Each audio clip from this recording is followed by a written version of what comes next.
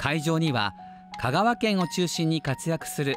ディレクターやデザイナーらが昨年度制作した広告作品がおよそ120点展示されています。こちらは野外ロックフェスのモンスターバッシュと徳島の食品メーカーがコラボした T シャツとエコバッグです。そしてこちらのポスターは香川県の4つの大学とプロスポーツのプロジェクトでファイブアローズの選手が次はアリーナで会いましょうとメッセージを送っています。このほか弘法大師生誕1250年を記念して作られた四国遍路と四国4県の日本酒を結びつけた作品やテレビコマーシャルホームページ用にデザインした広告なども展示されています。来場者はあさって午後2時まで直接作品を見て投票ができるということです。